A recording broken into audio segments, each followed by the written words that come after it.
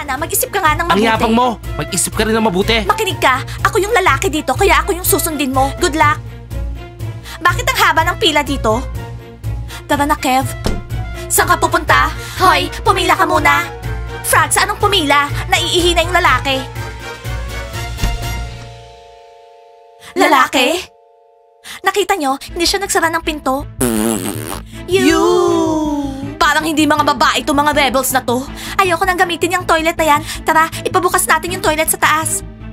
Okay pare, easy lang. Alam ko na, naiintindihan ko na. Pero kailangan natin kausapin si Teacher Mike para sa'yo. Oo, kausapin natin si Teacher Mike. Kailangan mo magpahinga o kaya magpa-check up. Hindi tama andar ng utak mo, Smiley. Guys, ako to si Diana. Tapos si Smiley nandun, kinikembot yung puwet ko. Maniwala kayo sa akin.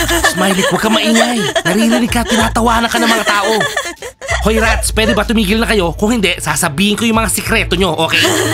Oh, Smiley, paano mo naman nalaman yung mga sikreto namin? Oh rats, nakalimutan nyo na, tabi tayo natutulog dati. Yana, wag mo nang sinusubo yung daliri mo habang tulog. At ikaw naman, Layla, nag sleepwalk ka pa ba? Ano? Diana, mag-usap tayo. Pwede ba? Huwag mo akong hawakan, nangingilabot ako. Subukan mo lang na hawakan ako ulit. Lagot ka sa akin. Diana, ano, bang problema? Wow, Diana, lalo kitang nagugustuhan kapag nagtataray ka.